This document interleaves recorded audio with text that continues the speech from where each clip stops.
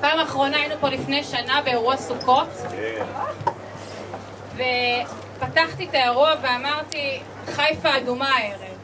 אז הערב חיפה אדומה אפילו עוד יותר.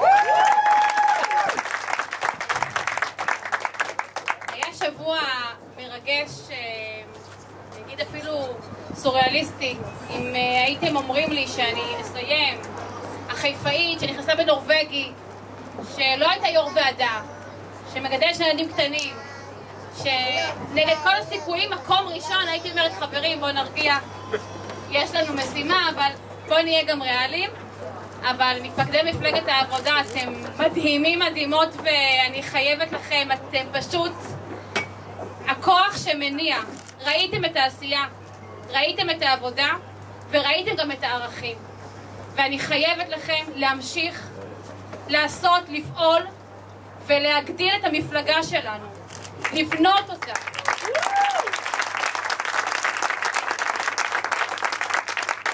לאורך כל הדרך בקמפיין הזה סיפרתי שאני מבית של תנועת העבודה ומפלגת העבודה.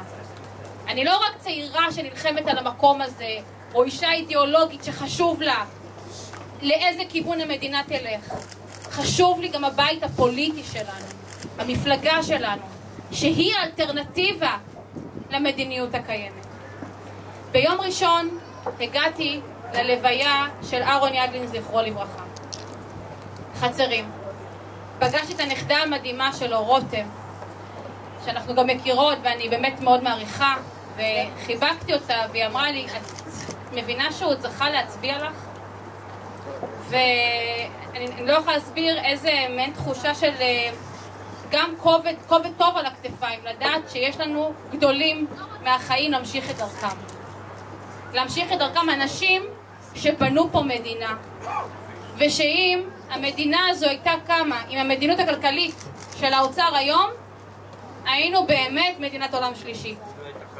היא לא הייתה קמה. אנשים שראו למרחוק, שידעו שהמדינה שלנו ענייה, אבל צריך להשקיע כדי שתהיה פה הזדמנות לכל אדם. כדי שכל ילד יוכל להצליח. כדי שגם בצפון ובדרום יהיו חיים בעלי ערך. ואת זה אנחנו מביאים לבחירות האלה. וכל השנה עשינו את זה. בסופו של דבר, ברמת המדיניות, אין שום דבר שונה בין יתר המפלגות. ומפלגת העבודה היא אור מהבהב אל מול זה. ואת זה אנחנו צריכים לקחת לקמפיין הקרוב. חברים, הסיפור של מנדטים זה לא רק איזה גדולים אנחנו ואיזה מפלגה מדהימה, זה איפה אנחנו יושבים, מה אנחנו מבקשים. כשאנחנו יותר מנדטים, יש עוד חברים בוועדות, יש עוד תפקידי שרים, וכן, יש גם דרישות קואליציוניות שאפשר לדרוש אותן, כמו חינוך מגיל לידה, כמו השקעה בפסיכולוגיה הציבורית, כמו צמצום כיתות לימוד. חברים, לכוח פוליטי יש משמעות ברמת המדיניות. ואת זה אנחנו צריכים לזכור וללכת עם זה אל הציבור. ואני יודעת, יודעת שנעשה את זה. ויש לי הכבוד גם ללכת את התהליך הזה עם האנשים הכי מדהימים שיש, והרשימה הכי מדהימה שיש. אני חוגגת פה עם יאיה שתכף ידבר, והוא באמת, אה, הוא חבר אה, קרוב הרבה שנים, אבל יש גם עוד אנשים, אמיר חניפס פה, גם מהצפון. יש פה את מאיר רשע, יש פה את רם שפע ואת גלעד קריב, ויש לנו רשימה. מאיה נורי. ומאיה נורי פה? כן. כפרה עליה, שלום אהובה שלי. יש פה, יש לנו רשימה בועטת, מגוונת, אבל רשימה של בולדוזרים, חברים. רשימה של אנשים שיודעים לעבוד ומה לעשות. זה חשוב לי להגיד את זה. חשוב לי להגיד את זה שכשהייתי מסתכלת על גלעד ואפרת בוועדות, הייתי אומרת, זו, זו, זו ליגה אחרת ממה שיש בכנסת. כשהייתי רואה את רם מגשר בין כל הסיעות ולקח תפקיד שהוא כבר מעבר למפלגת העבודה, אלא זה שכבר הולך לניר אורבך והולך לפה ומסדר את כל הסיפור, הבנתי איזו עוצמה יש לנו במפלגה. כשראיתי את השרים שלקחו את המשימות הכי קשות, לא פשוט להעביר תקציבים מיהודה ושומרון, הנגב ובגליל בתחבורה ציבורית. זה לא פשוט, חברים. זה לא דבר מובן מאליו, לא בממשלת ימין. זה לא דבר מובן מאליו לשנות סדרי עדיפויות מהשקעה רק ברכבים פרטיים לתחבורה ציבורית עם כל הקושי ועם כל המדיניות ההפוכה. כי את המחיר של הפקקים כולנו משלמים, ובטח הפריפריה. 40 מיליארד ש"ח בשנה. ולא פשוט, כן, כן, התשלום הכבד שלנו על תת השקעה שהיא פשע של אותן ממשלות קודמות. ולא פשוט לקחת משימה לאומית של מיגור פשיעה בחברה הערבית. ופתאום לראות אזרחים ששכחו לראות אותם, ציבורים ששכחו לראות אותם, והיה את מי שראה אותם. ואני גם ראיתי את עומר היקר נאבק בסוגיות של אלימות במשפחה ורצח נשים.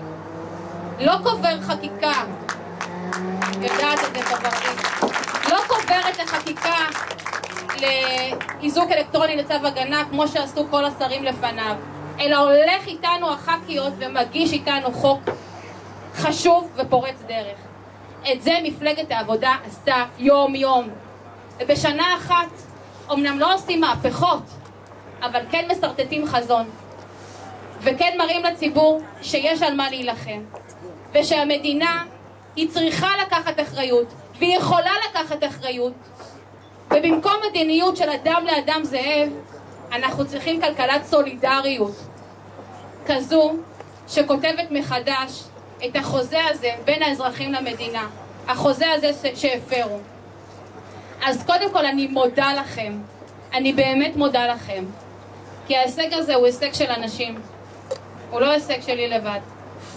כשכולם אמרו מאיפה הגעת למקום ראשון, לא ידענו מי את, אני ידעתי שהגעתי לזה בזכות הקבוצה שאיתי, בזכות האנשים שהתנדבו, בזכות כל הפעילים והפעילות, השותפים והשותפות, מהעבודה המאורגנת, מהפעילות למען צדק חברתי, מהשוויון המגדרי, מחיפה, מכל המקומות, מכל המקומות, גם ישראל ככה היה חלק מרכזי פה בעיר, מכל המקומות שדרכם בונים קבוצה ודרכם בונים תשתית ושינוי. חשוב לי רגע להגיד תודה לארז מטילטן. איפה ארז? תשמע, אין טוב יותר מהמקום הזה. עכשיו, אתה לא יודע אולי מה נפל עליך, כי אני לא הולכת להחליף מקום. ותמיד יהיה פה. עוד חודשיים, ראשון, חוגגים פה, שתיים בלילה. זהו, אתה נתקעת איתי כל הזמן, ושתדע. אז באמת חברים, תודתי העמוקה, אהבתי הגדולה, ויאללה בואו ננצח. תודה.